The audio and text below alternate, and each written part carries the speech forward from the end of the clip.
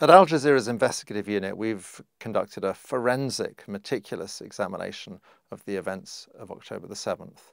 We uncovered very real crimes committed by Hamas and others. But I think what was perhaps most significant were the crimes we discovered that did not happen. And it's hugely concerning that these revelations have been virtually entirely ignored by the Western press. What's extraordinary is the Israelis were aware of the plans. Hamas were actually training quite openly for this operation, and they were actually placing the training videos online so anyone could view them. On the very night of October the 7th, before dawn, spotters along the fence are reporting back to headquarters, and the head of Shin Bet and the head of military intelligence take this seriously enough that in the middle of the night they're up and talking to each other, and they conclude it's just another training exercise. And what is extraordinary is that they don't even raise the alert level to number one. You know, the most basic alert level would have made a huge difference. And they don't do that, which means that when Hamas bursts through the fence at 6.30 in the morning, they catch many of the defenders in their beds. I mean, you can see many of the soldiers are killed in their beds. Hamas had anticipated most of their fighters would be killed trying to get through the fence. In fact, only a small number were killed trying to get through the fence. They were as much taken by surprise as anyone by the performance of Israeli intelligence and the Israeli military. Crucially, also, they were taken by surprise by this very large music festival that was taking place, which they don't seem to have been aware of. Having overrun the military bases, the game plan was to grab hostages and take them back. And they do this on a large scale, but they also clearly kill very large numbers of, of unarmed civilians as well. The Israelis were then extraordinarily slow to respond. Now, they scramble Apache helicopters, but there's no ground control. It's pretty clear that in the chaos, some hostages at least were hit by Apache helicopter fire. We've identified 27 people who were clearly taken hostage, taken captive, and were taken away from their homes but never made it to the fence, died somewhere between their homes and the fence. There's a fair chance that a number of them were killed by Apache helicopters. Within the kibbutzes, we've identified 18 people who were pretty much certainly killed by the police and the army as they arrived. 12 of them a specific incident in kibbutz Be'eri, where you have a large number of gunmen, around 40 gunmen, holed up in a house, with 13 hostages. A tank is brought in and, and, opens fire on the house. There are two survivors from this incident, which is why we know about it. There may be other incidents we don't know about because everyone was killed, but there are two survivors from this who spoke to Israeli media. There's a common sense thing. You just have to look at the scale of the destruction, and it's clear that 1,200 men armed with rocket-propelled grenades and machine guns did not do all of this. The Hannibal Directive which was something that was developed in the 1980s by the Israelis, and it was basically to avoid situations where their enemies would capture one or two or three Israeli soldiers and then effectively hold them to ransom. There was one occasion where the Israelis released over a thousand Palestinian prisoners in return for a single Israeli soldier. So an order was issued whereby they said, it's better that we kill everyone than allow people to be captured. Now, this was supposedly rescinded uh, several years ago, but at midday on October the 7th, the army revived the Hannibal Directive, put it into effect. 70 vehicles were hit. At least in some of the cases, everyone in the vehicle was killed. The Israeli military does not deny the report. The peculiarity of the days after October 7 is that the Israeli media and subsequently the international media choose to focus not on the very real and extensive crimes that Hamas and others did commit, but on crimes they did not commit. And this had two focuses. In the days immediately after, it's to do with babies. The most dramatic one is we see an allegation that there were 40 babies killed, many of them beheaded. This is very simple to deal with because we have a comprehensive list of the dead. We know that two babies are killed on October the 7th. One is a 10 month old child who is hit by a bullet fired through a safe room door. The other is a child who dies after an emergency cesarean, a Bedouin child, in fact. Now, any story about babies that does not relate to those two, and there are a lot of stories about babies, is not true. We know it's not true. This has enormous implications for the other wave of atrocity stories that began very quickly, which is to do with sexual violence, and particularly the Israeli assertion that it was widespread and systematic. To be clear in the film, we are not saying that there were no rapes on October the 7th. We simply don't know. What we are saying is that there simply is not the evidence There's not the forensic evidence, there's not the visual evidence, there's not the photographic evidence, and there is not the witness evidence to support the allegation of widespread and systematic rape. The Israelis have this strange system where they farm out the collection of bodies after disasters and terrorist attacks and so on to an organization called Zaka, who are ultra Orthodox religious volunteers. They collect the bodies, prepare them for religious burial, and so on. A character that many people will have seen in the days afterwards is Yossi Landau, who was the southern commander of Zaka, who was on television a great deal. He said, Two piles of 10 children each were tied to the back burned to death. You then see a phone call which Netanyahu makes to President Biden, where he repeats this story. In fact, he embellishes it. They took dozens of children, bound them up, burned them, and executed them.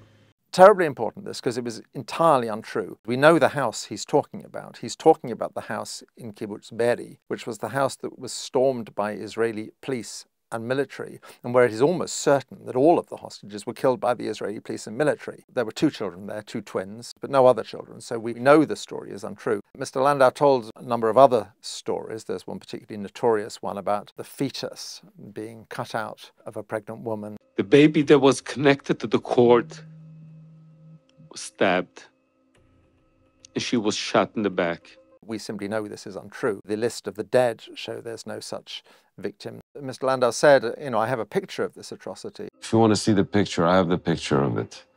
This is the baby. I'm sorry to be graphic here, but I, I can't see a baby here.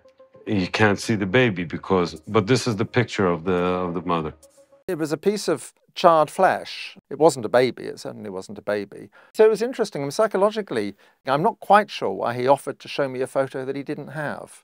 I'd point out as well that Zaka was an organization that was in trouble. There had been a major scandal. Its founder had been accused of child sexual abuse. There was a financial scandal. It had been found to be cooking the books. It's raised an awful lot of money since October the 7th. These stories were clearly useful, and they were useful to the Israeli government. In the film, we see Benjamin Netanyahu visiting Zaka volunteers and thanking them for talking to the world's media and stressing that this is another front in the war.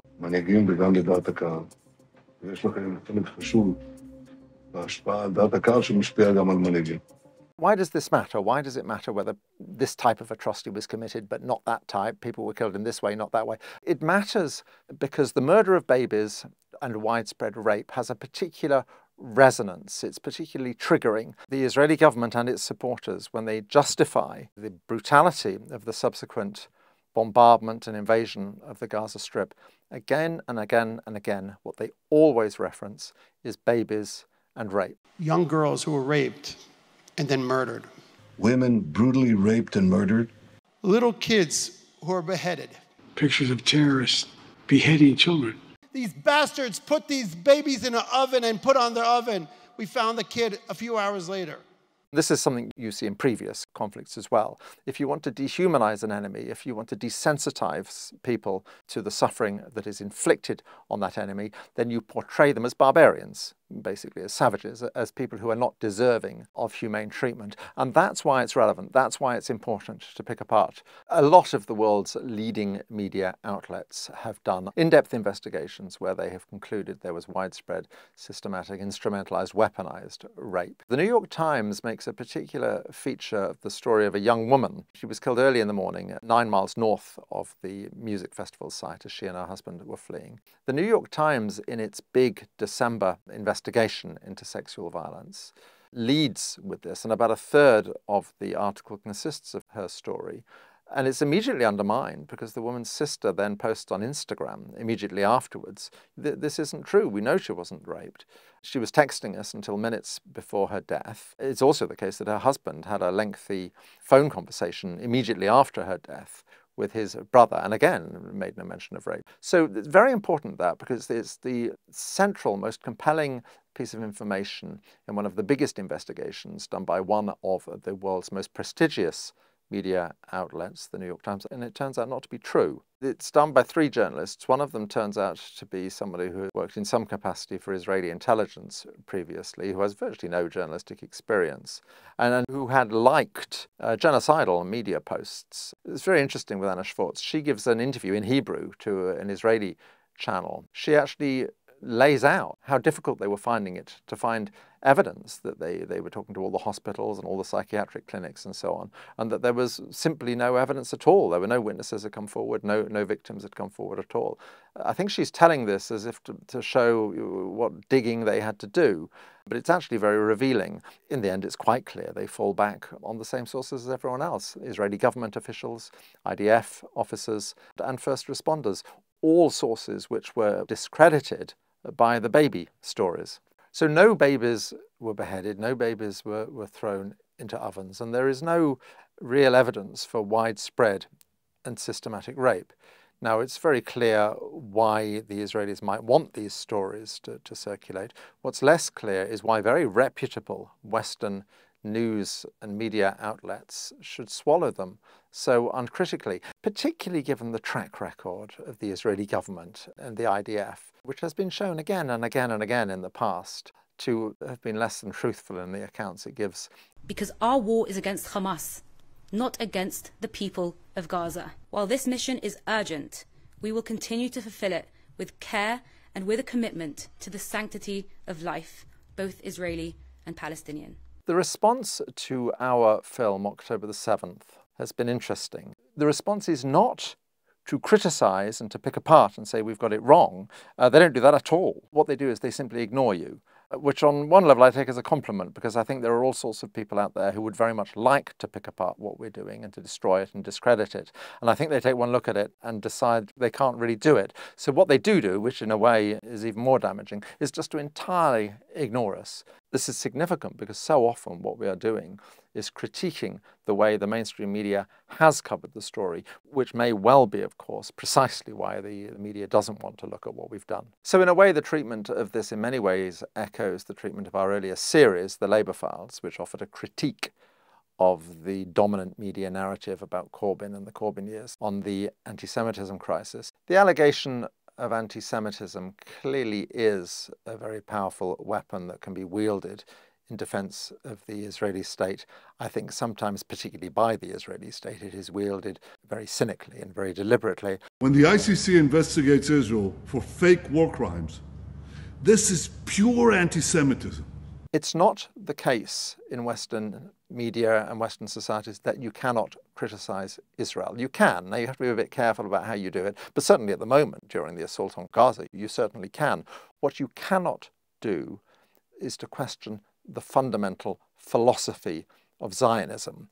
What you are not allowed to do is to say what all Palestinians would say Israel is a state whose defining feature is and has always been that it is structured to ensure the domination of one ethnicity over another, that it is in effect an apartheid state, which is what all of the world's human rights organizations now describe it as. The enormous peculiarity and dysfunction of Western media with Israel is not only does it not say that, you're actually not allowed to say that. And this renders criticism of Israel perilous terrain. People are very on edge. They're very aware that they're straying into dangerous territory. They're very aware they have to choose their words terribly carefully, otherwise they will be misconstrued. You can see this happening at its worst within the Labour Party, where particularly Jewish people are far, far more likely to be suspended and expelled for anti Semitism from the Labour Party than non Jewish people. But there is something more fundamental that goes on, which regards the Palestinian people as a whole. Once you have tainted them with the stain of anti Semitism, you have opened the door to, you have facilitated the dehumanization of Palestinians, which is the psychological prerequisite of Israeli brutality towards the Palestinians and of Western complicity in that brutality. Palestinians will often make the point that they did not choose who their occupier was, who their colonizer was. So in fighting back, yes, they are in, inevitably fighting back against Zionists and Jews. It doesn't mean they're anti Semitic. One has to ask oneself the question are we really saying that if they had been colonized by Greeks or Italians, they wouldn't be resisting their occupation. Of course they would. 36 Israeli children were killed on October the 7th, and this understandably got widespread uh, international media coverage. At this stage, I think over 14,000 Palestinian children have been killed, and you would expect the outrage and the coverage to be proportionately greater, and it's not in future people will look back at what is being done, which is essentially the flattening of a whole series of towns and the mass murder of thousands and thousands of unarmed civilians, almost half of whom are children. And they will be absolutely bewildered by how the West allowed this to happen under its very noses with weapons that were being supplied by the West. There is a rupture in the relationship of large numbers of people with the political media class. There is a fundamental alienation that is going on right now as a result of what is happening in the Gaza Strip. I think that's very dangerous for the future. The events of October the 7th are a case study in how traditional media can let us down and how we desperately need alternative voices that will genuinely probe these things and not simply accept the narratives that are fed to them. For this reason, I think it's enormously important to have outlets like Double Down News, and I would urge you to support Double Down News in any way you can.